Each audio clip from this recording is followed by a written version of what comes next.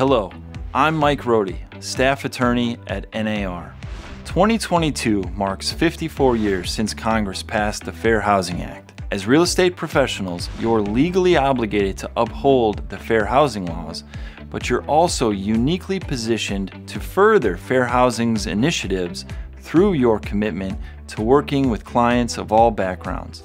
This window to the law focuses on how to successfully advertise your services and available properties while avoiding fair housing violations. Advertisements are a powerful tool to reach consumers and generate leads. The language and images must comply with fair housing laws and a realtor's obligations under Article 10 of the Code of Ethics. Advertisements should never indicate a preference or limitation based on a protected class, which at the federal level includes race, color, religion, sex, disability, family status, and national origin. HUD recently expanded its interpretation of sex to include sexual orientation and gender identity, and state and local laws may expand the categories of protected classes even further. When advertising an available property, a good rule of thumb is to describe the property, but not the ideal buyer or tenant. Phrases like perfect for students or ideal for empty nesters or a quiet Jewish neighborhood likely raise fair housing issues as these imply a preference of one demographic over another. In contrast, phrases like easy walk to the train or beautiful Mexican doors are likely acceptable because they reasonably and accurately describe the property's characteristics. Unfortunately, there is no authoritative list of acceptable or unacceptable words or phrases.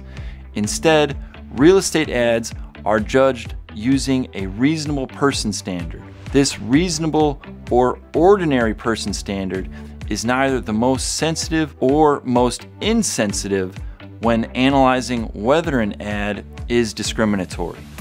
Keep in mind, this standard evolves over time, meaning once acceptable words and images, like the Confederate flag, might later present fair housing concerns.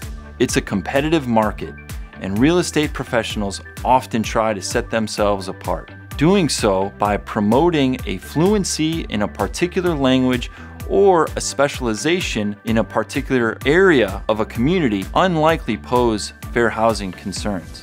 However, avoid indicating a preference or limitation for the clients you serve.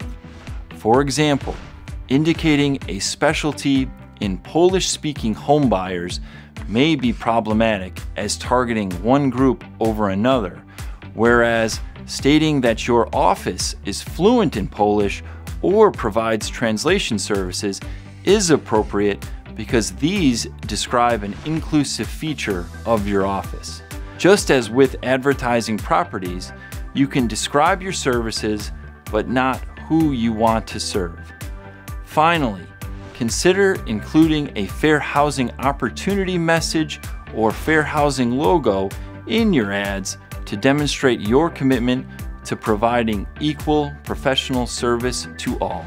For more information and tips, check out NAR's fair housing resources at nar.realtor slash fair housing. Thanks for watching this episode of Window to the Law.